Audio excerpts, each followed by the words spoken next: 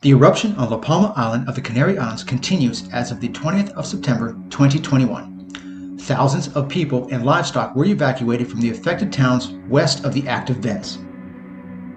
Seven vents have formed along two fissures. As with any fissure eruption, consolidation to one vent will eventually happen as eruption continues. So far, more than 100 houses and structures were destroyed, and so far, no injuries nor deaths have been reported. The island is still open to tourists, and the lava may make its way to the ocean as early as today.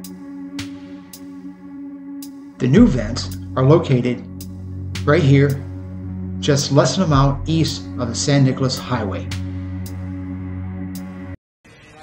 Here's some nighttime footage shot by the Guardia Civil of an AA lava flow consuming structures and buildings.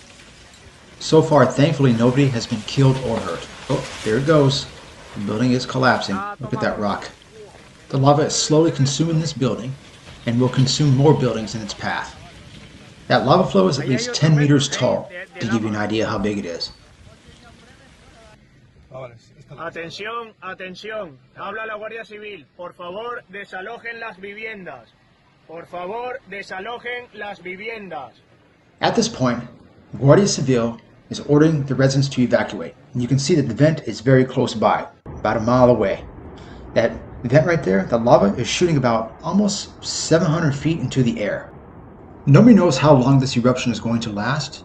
However, it is noted that back in 1971, an eruption here on La Palma Island lasted for at least five months. Here you can see massive amounts of lava pouring down the hillside. Here's an aerial view of the vent shot by the Civil Guard or Guardia Civil.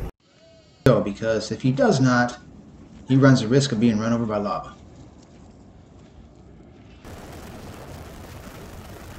Here's another aerial view shot by Guardia Civil showing the expanse of the lava field. You can see the lava flow right there.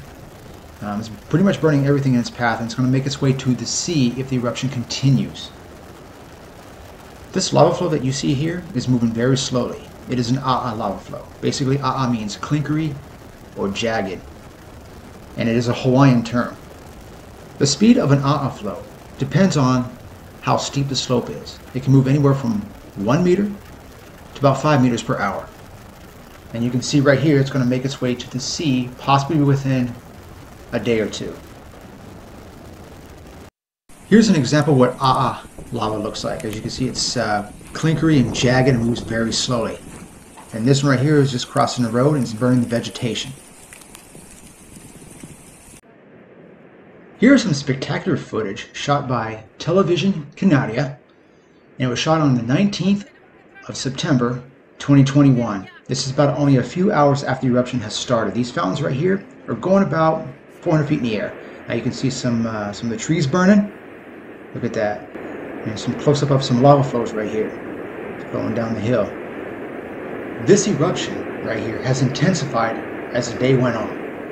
And as we went into night, the fountains started getting larger and larger. The fountains that you see right here, right now, is about an hour later from the previous clips, is going around 700 feet into the air. Now that side vent right there, the lava just seems like it's pouring right out of it. And those fountains are going around 100 feet in the air.